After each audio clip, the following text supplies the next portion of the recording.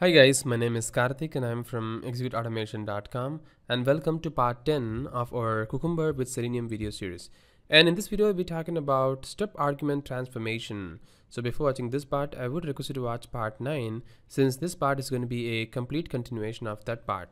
Alright, so let's get started. Let's all try to help save tree, water and energy to save our motherly planet Earth. So let's try to do it as much as possible. Argument transformation. A step argument transformation can simplest be described as a way to get typed object for a certain pattern in the given when then scenario. So this is very very important. Let's say if you want to convert an object or a type to certain custom type then you can do that via this concept the argument transformation. So it allows the transformation of a step definition argument to a custom type giving you full control over how that type is being instantiated. So this is really, really awesome because if you want to convert certain types from a step definition argument to a specific type that you want, let's say if you want to convert an integer to a string or a string to a datetime format, then you can do that using this argument transformation concept available in Cucumber out of the box. So if you are from a SpecFlow background, you should have worked with step argument transformation already, which comes with a DLL called specflow.assist.dynamic. So we have already discussed about this a lot in our SpecFlow video series of Execute Automation channel. So please go ahead and watch there how we did that in SpecFlow. And the same concept is available in Cucumber out of the box and we can achieve this using what is called as a transformer class. So using this transformer class, we can convert any type. And you can see that within this angle bracket, I have passed string. So I'm trying to convert a string type this time. And if I want to pass a specific type, let's say if you have a custom type called user form or user class, so you can just pass the user as well. So it can be of any type you want. So what is the difference between SpecFlow and Cucumber step argument transformation? To achieve a step argument transformation, following rules needs to be followed in SpecFlow. The return type of a transformation should be same as the parameter type and the regular expression should match to the original argument and if there are multiple matching transformations available, a warning is provided in the trace log and the first transformation is being used. But in Cucumber, there is no such harsh rules available you just need to extend any type to transformer type and then you need to override the transform method available in the transformer class and then the argument that you need to convert or transform should be called with an at transform annotation as a parameter. So this is what is the rules and it is pretty straightforward and simple. So let's quickly see this in action and see how things works. So for that, I'm going to flip to IntelliJ so this is the same project which we have been working so long from our previous video. And what I'm going to do this time is for our step argument transformation, I'm not really going to convert a type for the first time. Let's say I just want to add a email address for every email name or ID like username that I pass uh, with the suffix of at ea.com right? So in order to do that what I can do is let's say I just want to create a dummy step here. And I enter the user's email address as admin. Let's say this is the case. And if there is an email address with something called as email colon admin then I would want to say that okay so if this is the case then just convert the string of email admin to admin at ea.com right? So this is kind of dummy case for now so don't worry about it yet. I'm just going to just show you how the transformation work. Next example I will show you how to do that with the different types right so what I'm going to do is I'm just going to create a step definition for our step in the feature. So what I'm going to do, uh, let's try to expand this and it, it won't work. So all I have to do is just go over here and do a increase font size. So this will increase the font size for me, rather doing that there is one more option control alt s this will bring the settings and here in the general there is something called as change font size based on the uh, scrolling of the mouse wheel. So I'm just going to check that hit apply hit OK now if I just increase the font size by scrolling the mouse scroll wheel it will just increase the font size. So it is pretty cool all right? So what I'm going to do is I'm just going to delete this guy. And here for the username let's say I just want to uh, just do a regular expression over here. So I'm just gonna copy this. So instead of this guy the email I'm just gonna put it over here something like this. And let's call this as a string email. And now I just want to convert or maybe add a value over here something like uh, system dot out dot print. I want to say the email address is and if I print the email right now it will be just admin right? It won't be something else. But I just want to suffix the at ea.com for every email that I pass over here for this particular string. So I want to transform that. So how do I do that? It's very very simple using what is called a step argument transformation. So I'm going to create a package here because it's a best practice whatever transformations that you do you just put it in the uh, transformation folder. And within this transformation folder you can just add a class. And let's call this as email convert or email transform. And hit ok. So what does it say? Do you want to add in the git for now? Uh, I can maybe yep. I just want to add that so it is adding to the git. Let's expand the size of this class as well. All right. And now I'm just gonna say extends. As I already said we need to extend this particular class using what is called as a transformer class.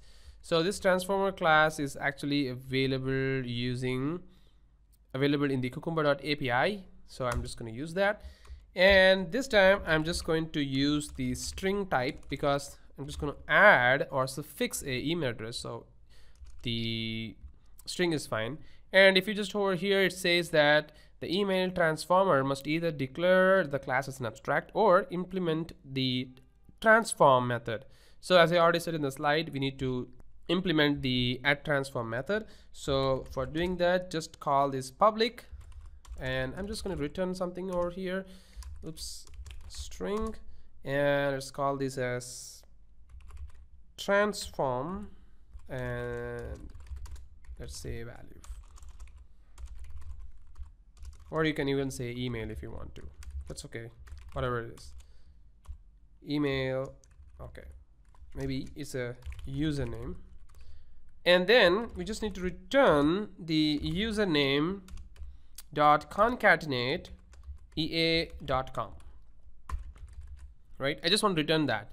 And since you are trying to implement and you're going to override this particular method available in the transformer. So you need to call the at override attribute or annotation. So i'm just going to save it and then i'm just going to go over here to the login step and since we are going to call this transformation we need to call the at transform attribute over here. So for now just try to run this and see if everything is looking good so I'm just going to run this particular uh, login feature and I will see that whether I get the printed output for the email which is nothing but the uh, username admin. So let's see if we get that. All right so we see there is something called as if we go to this particular feature the address is admin right? We are getting something over here but it is not admin at ea.com so if I add the at transform annotations for the argument you will see that it will work fine. So for doing that let me close these two browsers and let's go to the step over here.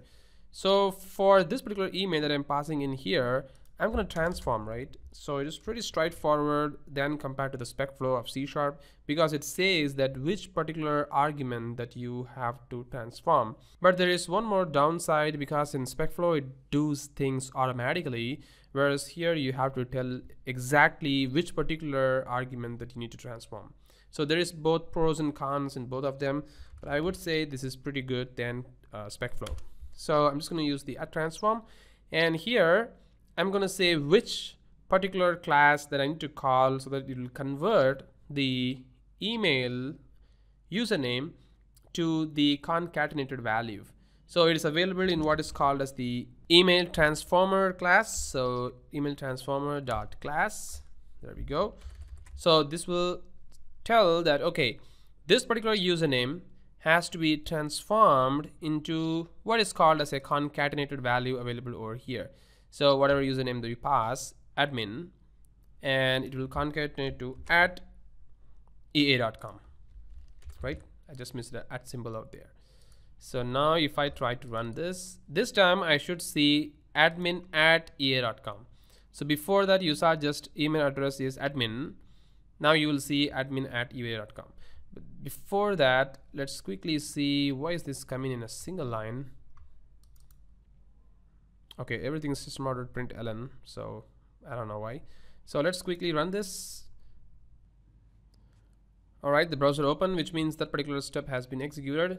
So, all right. And now if I go over here, you can see that this time I have the email address is admin at ea.com, right? So this particular step has been transformed into a concatenated value, which is great, right? So this is what is the transformation that you can do uh, using the step argument transformation. So the last thing which I told, the conversion or converting of a type. So that's pretty important, right? So I'm going to deal with another very, very simple way of conversion because this is a basic of uh, cucumbers. They're not really going to deep dive into some custom types. Rather, I'm going to do with the available types uh, with Java. So what I'm going to do is I'm just going to convert uh, the integer into string count, something like that. What do you say that? And I verify the count of my salary digits for rupees thousand is completely idiosyncratic example I know that but just to show you how things works from a string to an integer right? I'm just to convert that. That's why I'm just saying uh, this is a ridiculous example but just to show you how to transform an integer into a string and how it returns the count value to you that's what I'm to show you this time right? So I'm just gonna create one more transformation step here. So what I'm to do is I'm just to add one more Java class and let's call this as an uh, salary trans salary count transformer. And here I'm just gonna say extend transformer. And this time I'm gonna extend integer right? And this integer is going to again as I already said we need to override at override public and it's going to integer oops integer and transform. So I'm gonna say salary. So this is going to be the, the it's going to take the input as a string salary but it's going to return you the count of the count of that particular uh, salary right? So how to do that? So it's just going to turn the salary dot length all right return there we go. So this is going to return the length of the particular value that you're going to be that you're going to pass in for the particular uh, step argument. So let's go over here. It is not being implemented yet so control alt b or sorry alt enter and create the step definition in the login step. It comes in here. So you can see that it is automatically bringing the salary for us and let's see. System dot out dot println my salary digits count is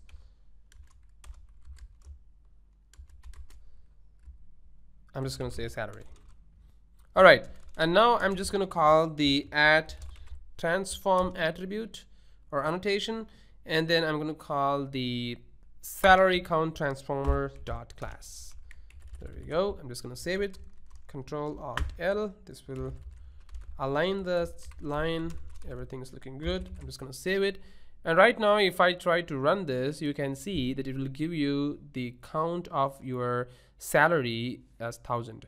But as four sorry. So what does it says? Uh, it says a transformer mm, i think there is something i'm missing. Yep sorry it is transform. All right just missed s out there. So let's try to run this feature again. All right it's opening the browser and it's entering the username and password which means that particular step has been executed. And now if I go to the result here you can see that my salary digit count is 4 cool right? So if you pass 1000 it is 4 and if you pass maybe 10,000 or something like that or something like that. And now if I try to run this it should return you the number of uh, digits that you are passing in as a salary. So if this is your salary you'll be very very happy of course in India for now. So yeah so this is what it is. So this is how you can perform the step argument transformation using Cucumber. So this is exactly available in SpecFlow as well. Well the concept is very simple in Cucumber than compared to SpecFlow right so once again, that's it guys. Thank you very much for watching this video and have a great day.